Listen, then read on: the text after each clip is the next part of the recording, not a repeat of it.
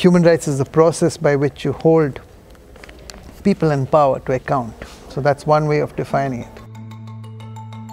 Maybe if you have to, to mention or, or to number the worst act of human rights violation uh, since 2000 till now, what, what would you mention? You know, we've, uh, Amnesty International works on a whole range of human rights and for uh, historically, for example, we have been working on the issue of death penalty, mm -hmm. The issue of prisoners of conscience, the issue of torture.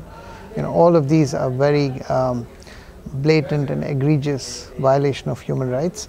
Um, but more and more, we're also looking at the issues of economic, social, cultural rights, which include poverty, it includes hunger, because for poor people, uh, that is also a violation of human rights. Yeah. You can't create a hierarchy of human rights, you know, because for us, even if there is one person uh, who has been killed or tortured, or one person who is having to whose human rights are denied because of poverty. Um, they're all equally bad. We don't say that, you know, one is worse or one is better. We think that every human being has rights and all rights should be protected. Maybe you have heard this uh, that WikiLeaks have mm -hmm. have done about the, the tortures that, that in Iraq, in, in Iraq, Iraq yeah. yeah.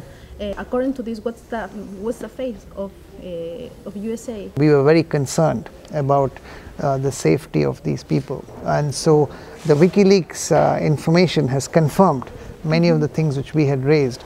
And um, it's absolutely, you know, it's raising some very tough questions about um, the practices of the US uh, security forces. And you're probably aware that we have been raising these questions for a long time in relation to Guantanamo Bay, in relation to the use of military commissions instead of using civil courts and extracting evidence through torture. You know, all of these have been issues we have been raising for a long time and we feel that the US government should now really carry out a full independent investigation. But what can be done in front of this? Well, I mean, this the U.S. government is not above the law. I mean, all governments are accountable. There are international standards. Mm -hmm. uh, the U.S. government has signed up to the Convention on, Against Torture. So they are accountable at the international level, like anybody else. It's the Peruvian government is accountable, so is the U.S. government. So. And now that we talk about Peruvian per Peruvian laws, how is Peru in, in, this level of, of respecting uh, human rights? Is how, how good or how, how bad is, is, is Peru doing? If you compare it to where things were 20 years ago, we've come a long way. If you compare it to international human rights standards, we still have a long way to go. For example, if you take the Decree Law 1095, which is under discussion right now, uh, you know, the idea of, again, once again, uh, using military solutions and uh, using the military maybe to potentially curb civil unrest. Uh, we know that in Peru there's been a long history of the military abusing its power. So bringing the military again I think is a very regressive step. And of course we still have a lot of issues of impunity on the Bagua issue, on the issue of the Truth and Reconciliation Commission. Uh, things are moving far too slowly. So we, we want fair trials and we want them to happen quickly.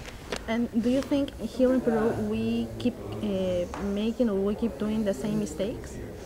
In relation to the way in which indigenous people's rights are being abused, I think we are repeating the same mistakes because indigenous people's rights have been abused historically, time and again, and we are continuing to do that now to extract natural resources.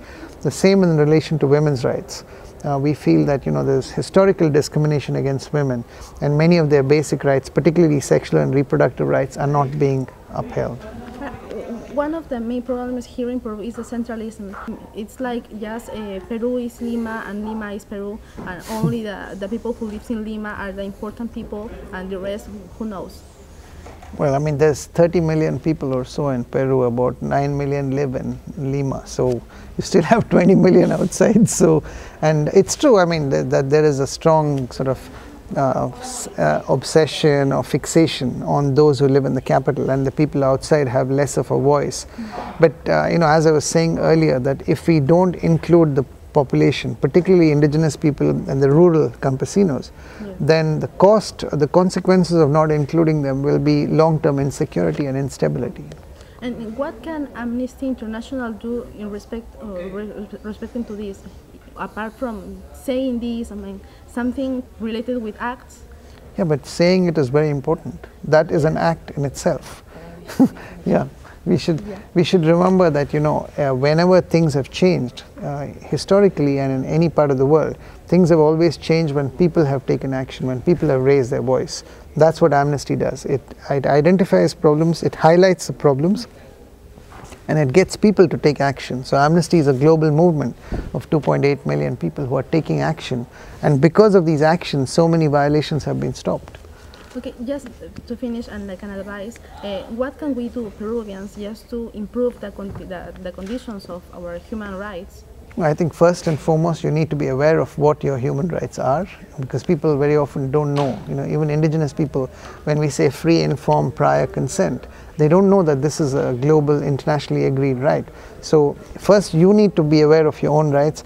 Second, you need to make other people, particularly indigenous people and women and rural people, aware of their rights.